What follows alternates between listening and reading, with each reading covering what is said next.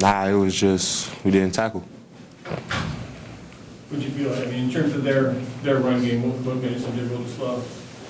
We just didn't tackle. Didn't tackle? Yeah, You feel like you guys were in spots to, to make plays and get them down sooner? yeah, we just didn't tackle. Troy, what's the message from the coaches? Just to get better. I mean, just continue to keep fighting, get ready for next season. I mean, you can't really dwell on these laws, even though it hurts. I mean, the most that I had lost this season, but uh, you just gotta keep pushing. Right, what's hardest to tackle a guy like John? What makes it hard to tackle? I mean, he just keeps his legs running, and you just gotta, like I said, you just gotta tackle him. Was the quarterback, uh, he's a good athlete, did he, did he surprise you guys a little bit with the way that he ran the ball? Nah, it's just some. You just gotta. We just had to do our jobs. People just weren't doing their stuff the right way, and that's all it was. You said that this loss hurts more than any, this season. Is that just because of the Civil War rivalry and that sort of thing? Yeah, definitely. You can't lose this game at all. I mean, that's it's that simple. I mean, this is for the state of Oregon, and we have to live 364 days until the next time we can get a chance to take it back.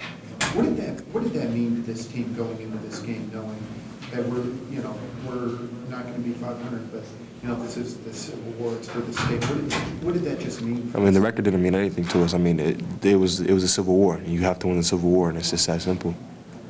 Talk with Helfrich's job being possibly in jeopardy. How's that something you players have handled in the locker room? Is it something you guys have talked about at all? I mean, no, we just we just focus on playing the game and going out there trying to get the win. I mean, we don't really try to pay attention to much outside noise because it's just outside noise to us. I mean, Health has done a great job of keeping everything calm, cool, and collected, and we just gotta we just gotta, we had to follow up. Did all the players, you know, support him and Coach Debbie? You guys want all of them back next year? Oh yeah, definitely. I mean, the, the coaches. I mean, they recruited us. They're the guys we came here to play for, and we and we and we're looking forward to play for them. Are you confident that this is the coaching staff that can turn it around? Oh, definitely. I mean, we have a bunch of great coaches, a bunch of great guys on this team. We just got to find the, the right way to get in. And we're just we're just a really young team right now. And we got to find a way to pull it out next year and get to the grind in the off season, the winter, and the spring, and really really get ready for fall camp and just get ready to go. struggles this season, are they simple, easy fixes for you guys now that you have year of experience, or is there more to just solving? No, it, it- it's just it's just little things that we didn't do. I mean, as you can tell, it's a little like you don't tackle, you don't wrap up. And the guy goes for however many yards and however many touchdowns he had, and you lose games, and that's what we've done this whole season. The issues with tackling, is that a toughness thing, a lack of technique? What, I mean, what, what accounts for that? I mean, I, I couldn't tell you. I mean, I'm not a coach. I don't I don't break that down. That's not my job. I go out there and I and I try to tackle. That's that's what I have to do. And uh, I mean, when it comes down to it, you got to gang tackle big backs like Ryan Nall, and he did a great job. Bravo to him. But uh, we'll be back.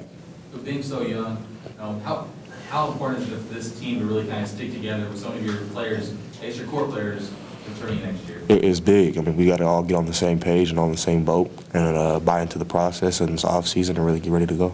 Did any of your players kind of step up in the locker room tonight's game and talk or say something? No, we just let the coaches talk, and we uh, just lick our wounds and get ready to go for next season. How do you make sure everybody's on the same page and buys in next season? just off-season workouts. Make sure everybody shows up on time, keep everybody accountable, and just self-accountability is a big thing, and uh, we have to get better on that. Troy, the issues with tackling, is that a toughness thing, a lack of technique? What, I mean, what, what accounts for that? I mean, I, I couldn't tell you. I mean, I'm not a coach. I don't I don't break that down. That's not my job. I go out there and I and I try to tackle. That's that's what I have to do. And uh, I mean, when it comes down to it, you got to gang tackle big backs like Ryan Nall, and he did a great job. Bravo to him. But uh, we'll be back.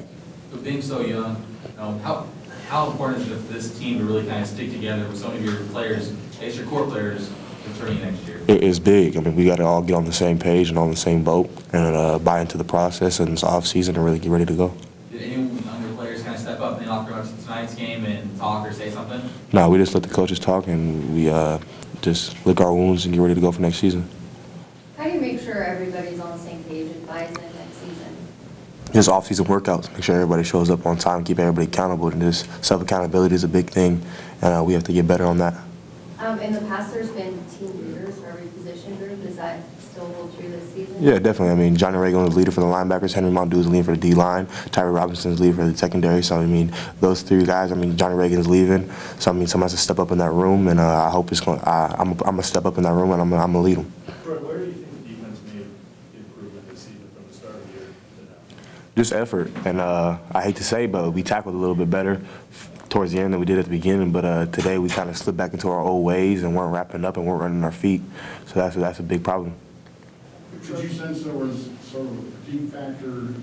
Oh, no, no, Particularly once the, the Nah. squall came in? no, no fatigue. It was just, I, I really couldn't tell you what it was. I mean, I think the rain threw a couple guys off, but I mean, at the end of the day, it's a guy with the ball you have to bring down to the ground or he's gonna score a touchdown. That's what he did.